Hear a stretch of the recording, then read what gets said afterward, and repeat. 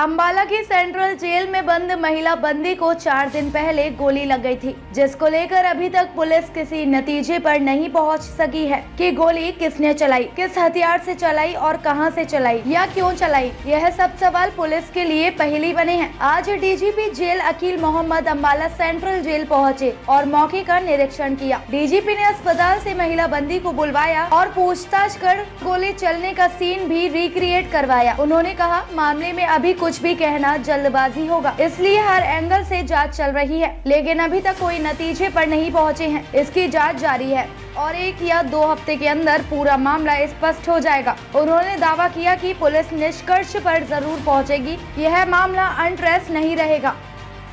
Action किया है jail में क्या कुछ? कई चीज़ें थी जिससे रिलेटेड में आया था। तो मुझे थोड़े दिन हो गए थे यहाँ आए हुए। तो मेरे ख्याल से आठ नौ महीने शायद हो गए थे आठ नौ महीने के बाद मैं आ रहा था। तो नॉर्मली मैं सभी जेलों का इंस्पेक्शन करता रहता हूँ, देखता रहता हूँ तो इसमें भी आया। काफ़ी चीज़ें इसमें देखी, कुछ जो इम्प्रूवमेंट के लिए मैंने ऑर्डर भी किए हैं, कि कुछ एक बिल्डिंग है जैसे रिपेयर मांग रही हैं, कुछ फैक्ट्री से रिलेटेड काम हैं, कुछ कैदियों की जो रिक्वेस्ट थी वो भी। तो सभी के ऊपर जो लॉ और रूल जो परमिट कर रहा है, उसके हिसाब से कार्रवाई करेंगे हम। इसके साथ ही एक यहाँ कुछ दिन पहले एक इंसिडेंट हुआ। उसके बारे में भी मैंने मीटिंग की और डिटेल में देखा और सभी संबंधित अधिकारी हैं, जैसे एसआईटी के लोग हो गए डॉक्टर्स हैं और साथ में हमारे जो स्पेशलिस्ट हैं तो सभी के साथ डिस्कशन किया है। और मैंने ये कहा है कि जितने भी एंगल हो सकते हैं, इस इशू को हर एक एंगल से देखा जाए। कि एंगल से मेरा मतलब है कि अगर कोई मिसचीफ अंदर से है किसी कैदी से मिसचीफ है तो उसको देखा जाए। चाहे कैदी वो अंडर ट्रायल है या आ, मान लिया कि जो जिसको कहते हैं कि प्रिजनर है या फिर चाहे वो लेडी है चाहे वो जेंट्स है सारे एंगल से देखो। कोई जेल स्टाफ की तरफ़ से कोई मिसचीफ है उसे भी देखो। कोई एक्सीडेंट की अगर पॉसिबिलिटी कहीं से दिख रही है तो एक्सीडेंट की देखो। अगर जेल के कुछ संतरी से अगर कहीं कुछ हुआ है तो उसको चेक करो पूरा। और अगर जेल के बाहर से दिखाई देता है तो वो तो प्राइमरीली इसमें जो काम, जो मैंने ड्यूटी लगाई है, जो हमारे जो स्पेशलिस्ट हैं, उनको कहा है कि जो बुलेट है बुलेट के ऊपर आप कंसंट्रेट करो।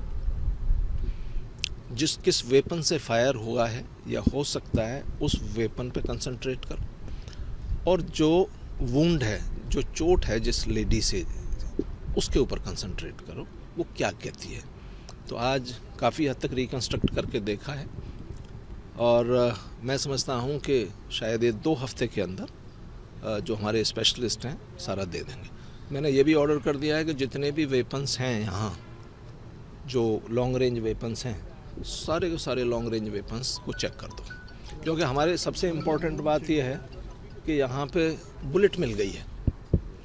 तो जैसे ही अगर बुलेट मिल जाती है तो हमारे हाथ बहुत मज़बूत हो जाते हैं। क्योंकि वो बुलेट जो है, वो मैच हो जाएगी। अगर किसी वेपन से, अगर जो जेल के, अगर किसी वेपन से फायर हुआ है, चाहे डेलीबरेट फायर है, चाहे एक्सीडेंटल फायर है, उसमें मैच हो जाएगा। इसके अलावा मैंने ये भी ऑर्डर किया है कि एसपी साहब को भी, जेल प्रशासन को भी, और साथ में हमारे स्पेशलिस्ट को भी कि कंप्लीट जेल को इस एंगल से भी चेक कर लो कि कहीं पर कोई किसी और तरीके का वेपन तो नहीं। ये भी किया है कि जो बुलेट आई है, वो बुलेट जिस वेपन की है तो जहाँ से वो फायर होता है तो उसकी स्पीड क्या होती है? और प्रोबेबल स्पीड जब वो चोट लगी है लेडी के जब पैर में पहुँची है तो उस टाइम पर क्या उसकी स्पीड या वेलोसिटी जिसको कहते हैं, क्या रही होगी? एंगल क्या रहा होगा?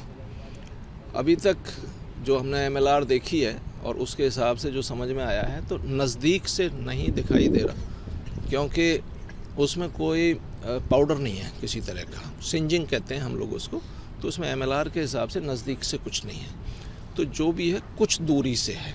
वो कितनी दूरी है, वो उससे एसरटेन करेंगे ये लोग और एसरटेन करके मैं समझता हूँ कि दो हफ़्ते जो मैंने ना टाइम दिया है, मैंने एक ही हफ़्ता कहा, लेकिन शायद इन्हें एक हफ़्ते से थोड़ा ज़्यादा लगेगा। हो सकता है दो हफ़्ते लग जाएँगे। तो दो हफ़्ते में बिल्कुल क्लियरिटी आ जाएगी। ये केस ऐसा नहीं है कि ये खुलेगा नहीं, ये क्लियर हो जाएगा। अगर एक्सीडेंटल है तो एक्सीडेंटल मिसचीफ है तो मिसचीफ क्राइम है तो क्राइम ये लेके निकल के आ जाएगा पूरा। हाँ जी लेडी लेडी हाँ लेडी को बुलाया लेडी से बात की है पूरी डिटेल में समझा है। और सभी लोगों ने समझा स्पेशलिस्ट को भी आज काफ़ी मजबूती से समझा और एसआईटी को भी आज काफ़ी समझ में आया। उसके साथ उसके साथ क्या बात की गई वो आपके साथ शेयर नहीं हो सकती मीडिया में क्योंकि वो एक गलत हो जाएगा तफ्तीश के हिसाब से गलत हो जाएगा और लेडी के हिसाब से भी गलत हो जाएगा। लेडीज़ के पैर से जो गोली निकाली गई उसकी रेंज क्या मैंने यही बोला आपने शायद सुना नहीं मैंने पहले ही बोल दिया था। अभी थियरी ऐसे नहीं देते हम।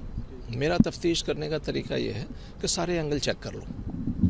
और सारे एंगल चेक करके और फिर नतीजे पे पहुंचो। कच्ची बात हो जाती है। सर कहीं जो गैंग वार की संभावना भी है?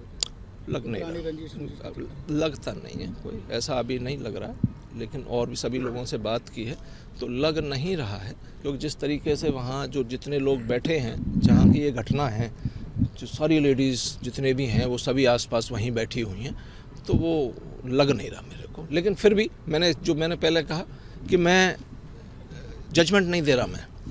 और आप भी मेरे से ऐसे सवाल ना पूछो कि जिसमें कि कोई जजमेंट की ज़रूरत पड़ रही हो। इसमें यह है कि जो है अगर कहीं कोई किसी भी तरीके का निकलेगा मैंने जो बोला है कि सारे एंगल देखेंगे। और सारे एंगल देख करके फिर आएगा पूरा। ठीक है है? जैसे आपको पहले बताया गया था कि अ, मामले की संवेदनशीलता को देखते हुए हमने इसमें एक एसआईटी का गठन किया है डीएसपी हेडक्वार्टर और सीआईए साइबर सेल और एसएचओ जो हैं उसमें मेंबर्स हैं। और पर्सनली मेरे द्वारा उसको सुपरवाइज़ किया जा रहा है। तो इसमें हम हर पहलू के ऊपर जितने भी हमारे को वहाँ पे फ़िज़िकल एविडेंसेस मिले हैं उनको सबको हमने कलेक्ट किया। और जो सीसीटीवी फुटेजेस हैं उसका भी हमने एनालिसिस किया और properly as per rule and law हमने उसको फ़ाइल पे लिया। और जो हमारे सबसे इम्पोर्टेंट चीज़ है कि इसके अंदर जैसे आप आज डीजी प्रिजन द्वारा भी अ, मौका घटनास्थल देखा गया और हमारे जो फोरेंसिक और बैलिस्टिक के एक्सपर्ट हैं उन द्वारा भी पूरा मौके की मुआयना किया गया। है तो उसमें आने वाले दिनों में मुझे उम्मीद है कि इसमें हमें काफ़ी जैसे उन्होंने बताया कि हफ़्ते दस दिन के अंदर एग्जैक्ट जो ट्रजेक्ट्री थी जो उस बुलेट ने फॉलो की उसके बारे में कुछ ना कुछ हमारा स्पष्ट हो जाएगा। सीसीटीवी से भी देखो देखिए जो एग्जैक्ट डिटेल्स हैं कि किसमें क्या हो रहा है वो तो मैं अभी केस की रिवील नहीं कर पाऊँगा। लेकिन डेफिनेटली सारी की सारी सीसीटीवी फुटेजेस जो हैं टोटल जितने कैमरास हैं वो हमने रिकॉर्ड पे ले ली हैं और उसका जो मुआयना है वो हमने काफ़ी हद तक कर भी लिया है। सीन तो सीन को जो रिक्रिएट है हमने पहले भी किया था और आज हमने जो विक्टिम है क्योंकि वो पहले हॉस्पिटल में एडमिटेड थी तो आज स्पेशल उसको परमिशन लेके और डॉक्टर की प्रेजेंस के अंदर आज दोबारा पूरे सीन को रिक्रिएट भी किया गया और उससे भी काफ़ी पहलू जो हैं वो क्लैरिफाई हुए हैं। चार दिन की जाँच में ज़्यादा संभावना है या बाहर से? देखिए कुछ भी इस स्थिति अभी इस टाइम पे स्पष्ट करना जल्दबाजी होगी। हमें मेरा ख्याल बेटर है कि एक बार जो हमारे एक्सपर्ट्स हैं उनकी पूरी जो उन्होंने पूरे मुआयना किया और जो हमने बुलेट हमने रिकवर किया जो सबसे इम्पोर्टेंट एविडेंस है तो उसकी जब वो एनालिसिस कर लेंगे तो उसके बाद ही इसको स्पष्ट किया जा सकेगा बुलेट रिकवर की है कितने एम की है कि पिस्टल देखिए वो मैंने आपको पहले ही बताया कि वो हम एफ़ एफ़ एस एल उसको हमने पलंदा बना के भेजा है तो वो वहाँ पे जब एनालिसिस करेंगे तो उसके बाद ही वो क्लैरिफाई और उसकी पुष्टि तभी हो पाएगी। अभी हमारे जो लोकल हमारे पुलिस के एक्सपर्ट्स हैं आर्मरर हैं, उनकी द्वारा से कुछ प्रिलिमिनरी जाँच की गई है, लेकिन जो पुख्ता और फाइनल वर्डिक्ट होगा वो उन्हीं द्वारा दिया जाएगा। ताज़ा अपडेट्स व बड़ी खबरों के लिए सब्सक्राइब करें आज प्रकाश टीवी और बेल आइकन दबाना ना भूलें।